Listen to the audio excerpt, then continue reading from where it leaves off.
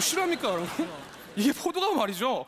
이 씨까지 먹으면 노화 방지 효과가 있고 피부 미용에도 얼마나 좋은데. 아니 그게 그렇게 건강에 좋으면 김기열 씨 네. 포도씨 잔뜩 들어있는 이 포도 씨유.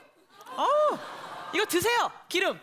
원샷 원샷 원샷 원샷 원샷 원샷 원샷. 어 독해 먹어 먹어 아, 저 먹는다. 어, 어 진짜 먹었어. 먹었어. 와 오 독해 어우 독하다 정말 어우 이거 이름이 뭐라고요? 포도 씨유 아 난 못 먹겠시요. 와 소름 끼쳐 진짜 나 먹었어 와 웃었어 저기 웃었어 몇 명 웃었어 몇 명 웃었어. 아니 왜 자꾸 우리 보고 포도 씨를 먹으라고 하는 거예요 그래요. 포도씨 먹으면 소화가 안 돼서 너무 안 좋아요. 뭐가 안 좋아요? 어차피 일본은 다 나오는데. 그걸 왜 확인해? 그러니까.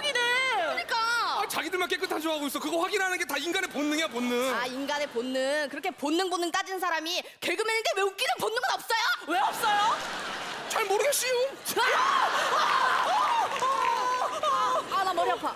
자 그럼 이쯤에서 영등포 청가물 시장에 나가서 직접 포도씨를 먹는가 안 먹는가를 조사해 오신 우리 양선일 리포터 모셔보도록 하겠습니다. 나와주세요. 제가 직접 영등포 청가물 시장으로 가서 포도씨 먹는 건가 뱉는 건가에 대한 설문 조사를 했는데요. 정말 놀라운 결과가 나왔습니다. 먼저 실제로 포도씨를 먹는다는 분이 50%, 또 실제로 포도씨를 뱉는다는 분이 50%. 더욱 놀라운 건 이 두 집단 사이에 100% 공통된 의견이 나왔습니다. 아 어떤 의견이죠? 김기열 실제로도 안 웃겨요? 그런 걸 조사하고 있어요. 나가세요 나가세요. 김기열 씨, 예. 개그맨의 반대말이 뭔지 알아요? 개그맨의 반대말이요. 그게 뭐죠? 김기열. 나가요 나가세요. 맞네, 맞네.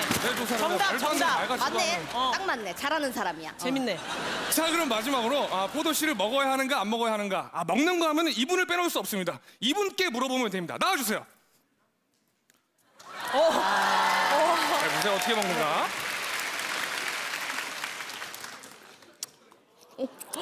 와!